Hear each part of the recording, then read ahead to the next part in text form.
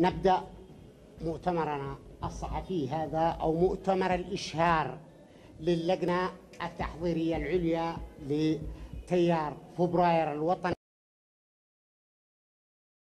فكرة إنشائه تراوح داخل الساحة من صنعاء إلى تعز إلى عدن إلى أكثر من ساحة في الجمهورية.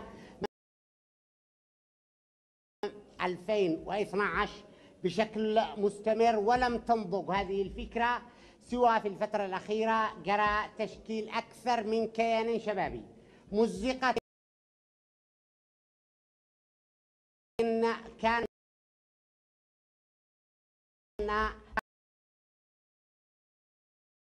خرجوا بتنظيم سياسي ربما لم تنحل ولم تفرض ما فرض عليها في مؤتمر حرض وخمر اليوم أو ربما غدا أو بعد غد هنالك أطراف.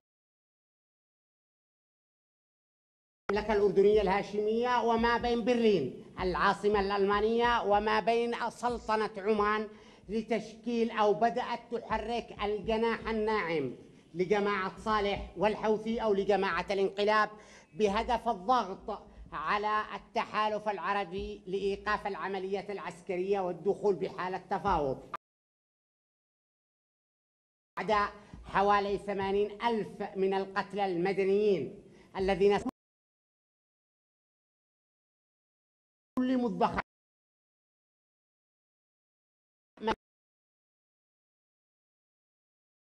جرى في صنعاء على مدار ثلاثة أعوام.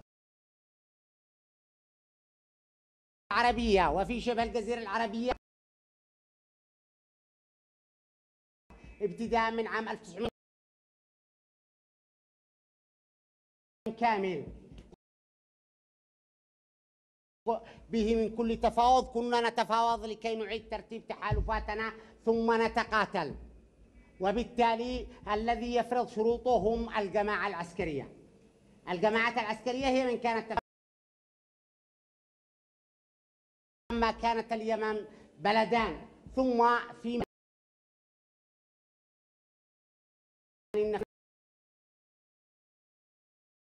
72 إلى الحرب. لأن الناس ربما لا تت... كان يتم الاستعاضة بنخب جاهزة ودائما يقال أن الثورة تظل فريسة للقوى الجاهزة. على الجميع ربما اليوم قد تتسنى فرصة قد لا تتوفر في الغد القريب وقد لا تكون متاحة في العام القادم. هذه المسائل تحتاج إلى ستة أشهر أن نصل تقريبا إلى حوالي 457 الذي ننتوي بشكل عام البلوغ الوجيات وكل تكتل كنا نشكله كسفينة نوح. نأخذ فيه من كل زوجين اثنين لكن كنتيجة عامة كانت إما أن تغرق السفينة إما أن تغرق السفينة أو يتحول الجميع إلى طيور كل منهم يهاجر قبل أن نصل إلى أول مرفأ. واليوم ربما نحن نطرح فكرة واحدة لا نلزم الناس وأيضا لا نمثل فبراير بكافة أبعاده نحن جزءا منه لكن لا نحتكر تمثيله. نحن جزءا من هذا الحدث لكن لا نحتكر تمثيله على أحد كما يدعي البعض أو يحاول أن يخلق له مظلمة. لأننا أبناء تاريخ المظلمة نحن ضحايا مظلمات ارتكبت من صفين وما تلاها وربما ما, ما نعاني منه اليوم هو أحد نتائج ضحية مظلمة كربلاء التي لا نعرفها ولسنا جزءا من تاريخها أيضا ولم نعايشها. مسميات جعلتنا نحمل مقابرا على ظهورنا وبالتالي كسرت ظهورنا قبل أن توصلنا إلى بر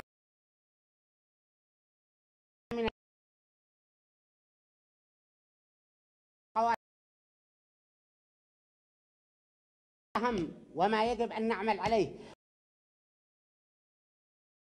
اليوم. لدينا قوى سياسية مع الأسف الشديد عجزت على أن أن تغادر محو الإيديولوجيا التي أوجدت نفسها داخلها وبالتالي الجميع يقسم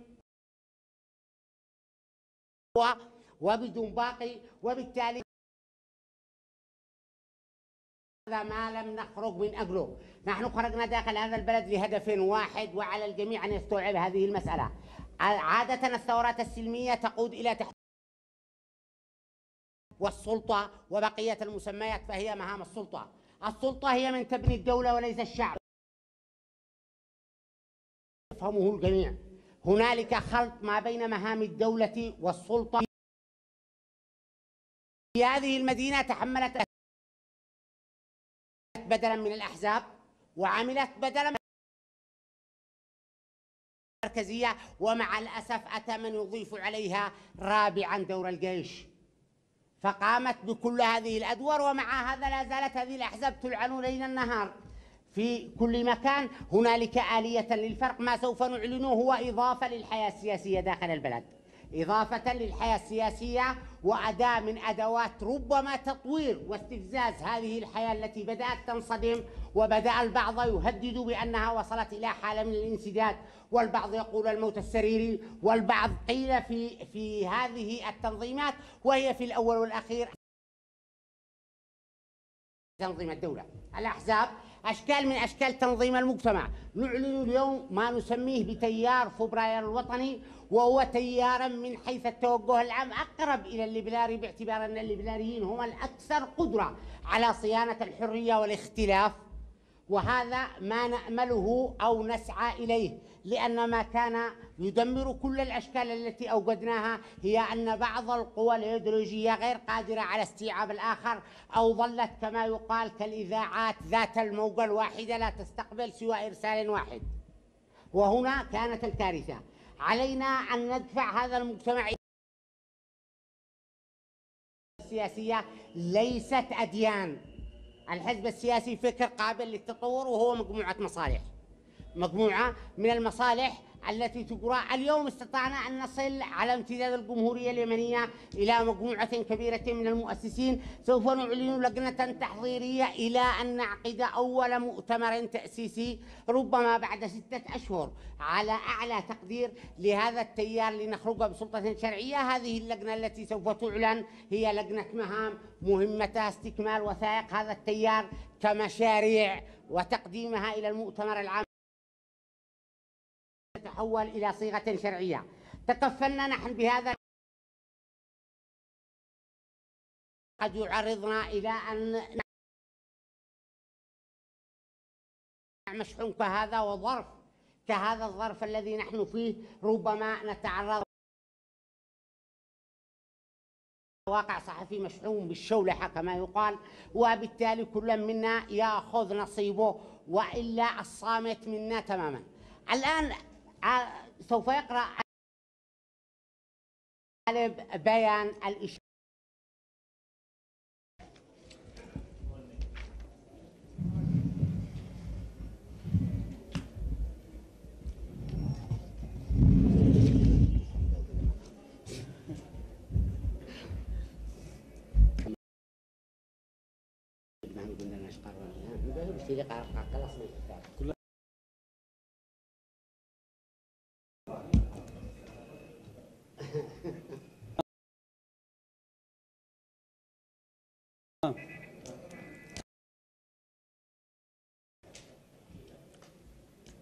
بيان إشهار التيار. المرسلين يا جماهير الثورة في نقف هنا اليوم بكل شموخ وإباء ثابتين على الأرض معلنين بكل إصرار الانتصار لقضيتنا العادلة واستمرار ثورة الحادي عشر من فبراير ونهجها التغييري.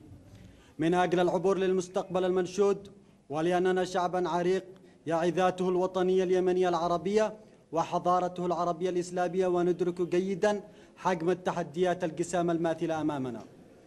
وقدر التضحيات التي قدمها هذا الشعب ولا زال يقدمها للوصول إلى حقه الطبيعي في الحرية والديمقراطية وبناء دولته اليمنية الاتحادية الضامنة الضامنة للشراكة في السلطة والثروة.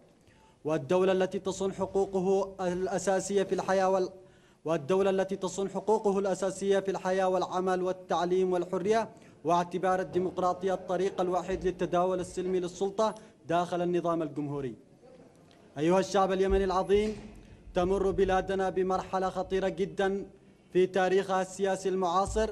تفرض علينا جميعا كسر حاجز الخوف والتردد والاستسلام وتحرير أنفسنا من براثين ثقافة الاستبداد التي فرضت علينا التي فرضت علينا عقودا من الزمن. واستطاعت أن تطبعنا بنهج شمولي يستعدي الآخر وعمقت أمراض الكراهية والانعزال والتشكيك بالآخرين. وتدمير العقل الجمعي للمجتمع باعتباره القوة القادرة على إيقاف الاستبداد وخلق التوازن الضامن للعدالة والمساواة للأفراد والجماعات. إن هذا التحدي الخطير يفرض علينا إعادة تنظيم أنفسنا في تكتل سياسي يسهم بفعالية للخروج من هذا الوضع. لأن الانقلاب الذي أسقط الدولة أراد أن يسقط المجتمع ويدفعه إلى حرب أهلية تتيح له الانقضاض على السلطة والتحكم في مصير البلد. وتسليمها لحليفه الإقليمي المتمثل في الدولة الفارسية ومرتعا خصبا لقوى الإرهاب والفوضى مهددا الوحدة الوطنية وأشقائنا في دول الجوار. والأمن القومي العربي والتجارة الدولية ولولا تدخل التحالف العربي بقيادة المملكة العربية السعودية الذي أنقذ خاصرة الأمن القومي العربي من التمدد الإيراني وإعادة السلطة الشرعية المعبرة عن إرادة الشعب اليمني. يا جماهير فبراير الأبية يهدف التيار فبراير الوطني الديمقراطي للإسهام في تحقيق الإسهام في تحقيق أهداف الثورة الشبابية الشعبية وإسقاط الانقلاب واستعادة الدولة ومؤسساتها الشرعية. والحفاظ على النظام الجمهوري وصولا إلى الدولة الاتحادية الديمقراطية وتحقيق نهضة تنموية شاملة وجعل حقوق الإنسان هدفا هدفا استراتيجي لنضاله. وإعادة الاعتبار للذات الحضارية اليمنية وبناء علاقات تعيد لليمن مكانته التاريخية والحضارية. وإننا في تيار فبراير الوطني الديمقراطي ننتهز فرصة انعقاد القمة العربية في المملكة الأردنية الذي يأتي انعقادها متزامنا مع إشهار هذا التيار لمناشدة ملوك وأمراء ورؤساء الدول العربية باسم كل الشباب العربي إلى استيعاب تطلعات هذا الجيل القادم ومساعدته وتمكينه سياسيا للإسهام في إحداث نهضة عربية فهو جيل يرفض البقاء في الهامش على المستوى الداخلي ويتطلع لقيادة الأمة العربية إلى موقع ريادي على المستوى العالمي في القريب بإذن الله. أيها الثوار إنتجوا نخبكم. إن الثورة التي لا تنتج نخبتها السياسية تظل ثورة عقيمة تحكمها القوى الجاهزة على الأرض الواقع على أرض الواقع. ولذلك فإننا نعلن اليوم اللجنة التحضيرية العليا لتيار فبراير الوطني الديمقراطي والتي تأتي بعد ستة أشهر من العمل المتواصل. استطعنا فيها الخروج بتشكيل نواة الهيئة التأسيسية لهذا التيار. وبقوام يفوق 457 مؤسس ولا يزال الباب مفتوحا لشباب الثورة وكل القوى الرافضة للانقلاب للانضمام لهذا التيار. ونظرا للأوضاع الاستثنائية التي فرضتها الحرب وعطلت كل شيء فإننا نعلن لإشهار هذه اللجنة التحضيرية لاستكمال مهامها الكاملة وصولا لإنعقاد المؤتمر التأسيسي الأول وبه تنتهي مهام اللجنة التحضيرية. عاشت ثورة فبراير حرة أبية الرحمة والخلود للشهداء الرحمة والخلود للشهداء الشفاء للجرحى الحرية للأسرى والمختطفين النصر للجيش الوطني والمقاومة الشعبية. اللجنة التحضيرية العليا لتيار فبراير الوطني الديمقراطي تعز 28 3 2017 ميلادية.